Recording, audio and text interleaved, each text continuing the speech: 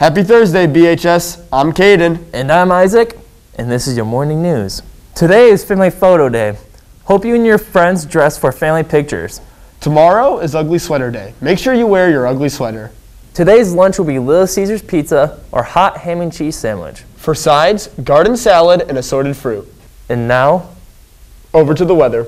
Today's weather is windy with a high 59 and a low 28. Let's hope for a white Christmas, guys. Chocolate chip cookies will be sold every day after school near the front office. two cookies for $1. That's all for today, BHS. Have a great week, Brandon. I pledge allegiance to the flag of the United States of America and to the republic for which it stands, one nation, under God, indivisible, with liberty and justice for all.